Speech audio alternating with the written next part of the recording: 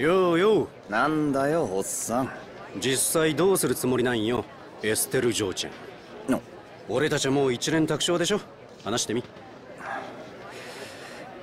話しちまうと揺らいじまいそうなんだ。だからその時まで待ってくれ。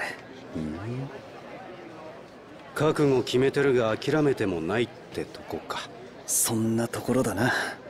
お前さんらしいが無理に抱え込むんじゃないぜ レイブン似合わねえぜははまったくよね。